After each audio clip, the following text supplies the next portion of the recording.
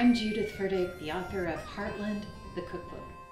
In the Midwest, a lot of people grew up on the family farm. They maybe are a generation or two removed from it.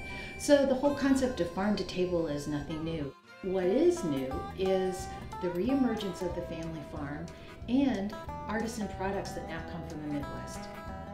Heartland the Cookbook celebrates new farmhouse cooking. Cooking that keeps it simple by using really great Midwestern ingredients. Everybody really likes fresh sweet corn, but once you've tasted fresh sweet corn from a place that has hot, humid summers like Ohio or Indiana, Illinois, or Iowa, it's to die for. Heritage breeds of pork raised in Iowa and Missouri finds its way onto the finest restaurant tables across the United States.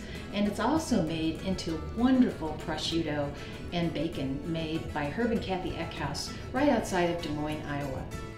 Grass-fed cattle, sheep, and goats in Wisconsin, Illinois, Nebraska, and Kansas produce meat and dairy and cheese with fuller flavor. And here's a surprise. The largest farmer's market in the United States is actually in Madison, Wisconsin. It's the Dane County Farmers Market that is packed every weekend.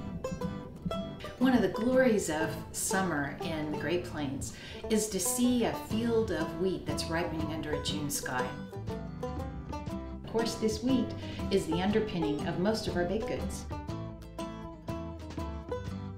Native persimmons, Missouri pecans, and black walnuts are foods that are gathered from the wild, and they're well worth seeking out at farmers markets. I encourage you to lose yourself in the pages of Heartland and find your place in the Heartland Kitchen.